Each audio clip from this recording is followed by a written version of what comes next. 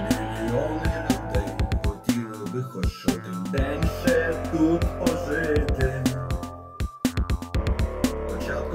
як найновила будуть я шоу.